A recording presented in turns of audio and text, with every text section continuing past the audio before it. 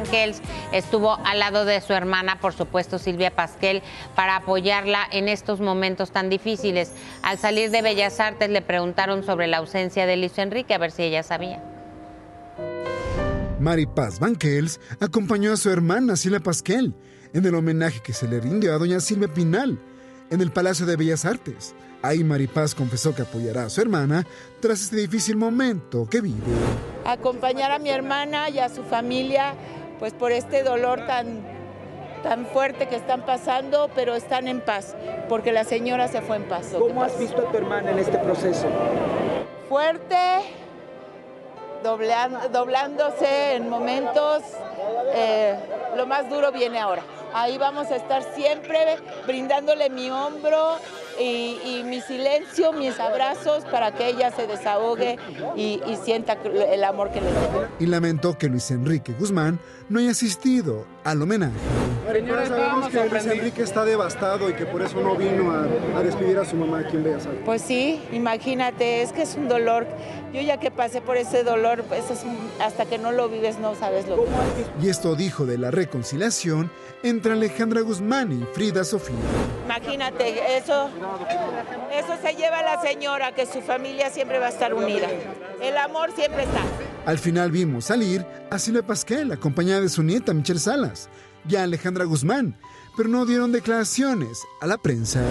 ¡Silvia! ¡Silvia! ¡Michelle! ¡Michelle! ¡Michelle!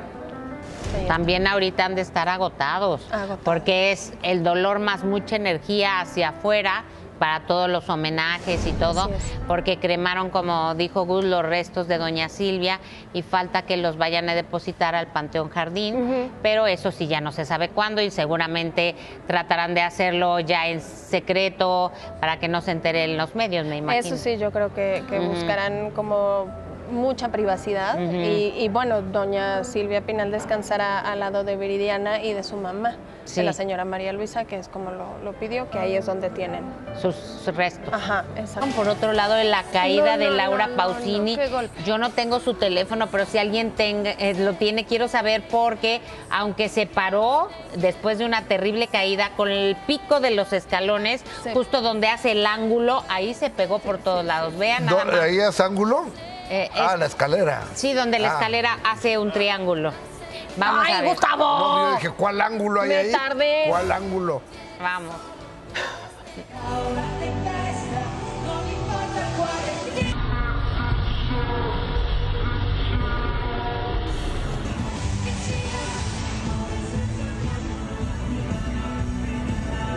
Sí, ahí, ahí se pegó eh, justo en la espalda Luego los bailarines muy entrenados, la verdad, llegan y se le ponen alrededor como para ver si la apoyan y la quieren levantar y ella, les dice que no, espérense tantito.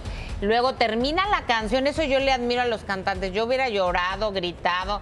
Termina la canción todavía y se para pero ahorita debe estar muy adolorida y espero no se haya lesionado. Esperemos que no, porque sí, la caída es brutal, pero yo no sé si se atora con ese caftán que creo que traía. No, no, no, no, no. que demande al diseñador. Que demande al diseñador que hizo esa capa. Deja tú, eh, se ve divino, pero fitenlo. O sea, todo está en el fit. Si te arrastra, no, no, o sea, tienen que pensar en todo. No puedes usar algo que te arrastra para bajar unas escaleras. O sea, es imposible. Por eso hoy por hoy hay muchas cantantes que se mandan a hacer estas botas que parece que tienen tacón, pero la realidad es que el tacón está por dentro y están flats. Sí. Porque eso les da mucha más facilidad para desenvolverse en el escenario. Esto a mí se me hizo, o sea, todo mal. No puedes ponerte un caftán que además te arrastra y en escaleras. Qué horror. Esperemos esté bien. que esté bien. Eh, porque esa caída puede ser de. No, terrible de hospital. Sí, sí, sí, sí.